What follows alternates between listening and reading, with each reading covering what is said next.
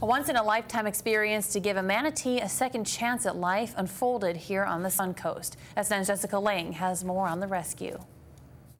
In the right place at the right time. Boaters Keith Meyer and Aaron Spencer were pulling their boat from the Venice Intracoastal Waterway Sunday when they saw a manatee bobbing in the water. We didn't know that it was an abnormal activity for him to be doing that. He explained to us that it was from the red tide, neurotoxins affecting him, and he was going down. Red tide already killed five other manatees over Labor Day weekend in the Venice Nokomis area, but Spencer and his friends were determined to keep this one alive. It's humbling to be able to know that you had a part in maybe saving something that otherwise wouldn't have made it.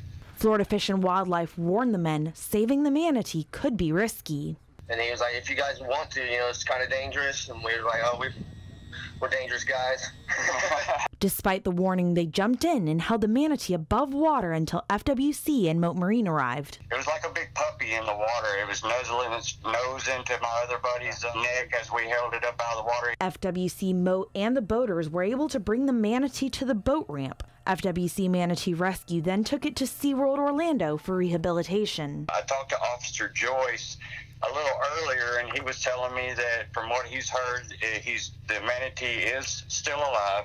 After the exciting end to their vacation, Spencer and Meyer now call their group the Redneck Manatee Rescue Unit. For us guys that was able to get in the water and help hold them up, it was actually a once in a lifetime experience that, that not a lot of people get to experience. Reporting in Venice, Jessica Lang, SNN, the Suncoast News Network. So glad that manatee's okay. According to the Venice Police Marine Unit, SeaWorld says the manatee is awake now and no longer showing signs of red tide exposure.